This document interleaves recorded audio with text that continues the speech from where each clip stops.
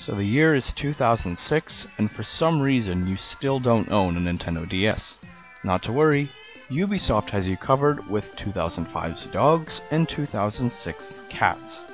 Dogz came out earlier, probably because of the need to compete with Nintendogs, despite being on obviously inferior hardware, but I digress. Since I'm more familiar with Catz and hadn't properly played through Dogz until I streamed it this July, I'll be talking about this game first. So, how does Catz fare? Well, let's find out. I'm actually surprised there's even a story to this game at all.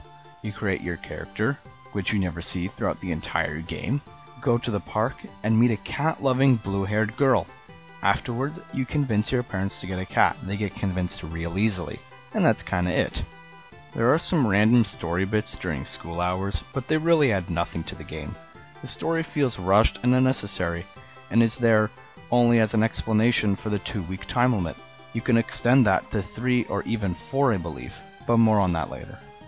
At the beginning, you get to name your cat and pick a breed of your liking.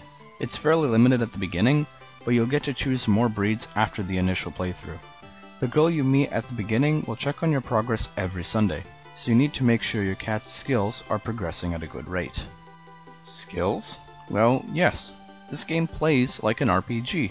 You have the living room and the bedroom to interact with your cat. You can feed, play, or clean your cat using hands or accessories. There are actually a lot of items you can obtain by going to the shop and buying stuff with your daily 300 coin allowance. And a lot of new ways to interact with your cat as you level them up in the four skills mood, friend, punch, and looks. You'll soon find out which actions work best when leveling these skills.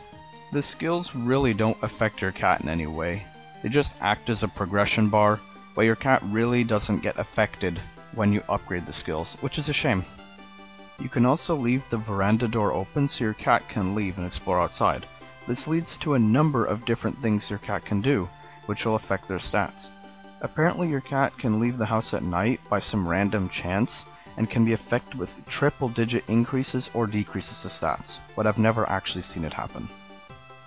Thing is, is that you'll soon find out the best strategy for winning this game and do nothing else. You won't interact with your cat anymore, you won't do any more interesting unlocks, you'll just do the basics required to progress further in this game. It certainly makes the game feel more limiting than you originally thought. You can use the weekends to build their skill more efficiently since you don't have school to worry about. If you make a good strategy, you get to continue playing, but normally you only have two weeks of playing. More on this later. Despite being isometric, the graphics are nice and colorful, but the character models do look strange. The cat models look alright, but there aren't a whole lot of them, just color variations for the most part. The close-ups of your cat somehow look off. It doesn't help that they didn't bother to make any close-up reactions other than after a meal you've served them. There are also a number of different animations as you play with your cat, so that's nice. In order to make the game world feel more alive, we need some music. There are a couple of different music tracks, but you'll be hearing the same tune most of the time. The music does differ each week though, the shop and cutscenes have their own music as well. It's all a bit uninspired though, not very memorable or catchy. Now to the ending of the game. After a two week period, the girl will evaluate your progress and determine whether or not you get to keep your cat. I believe you'll need all your cat skills at 4 or above to extend your game, if not, you'll be getting the typical Lazy Bones ending and the game ends. Now, you get to see your previous cat in the album if you want to relive memories or something. More importantly, new breeds are now unlocked and you get to play with them. Not that the gameplay somehow becomes amazing, but it's a nice bit of replayability nonetheless. And those are my thoughts on Catz. Overall, it's not a very good game. It's limited, it lacks depth. But will Dogz be an improvement?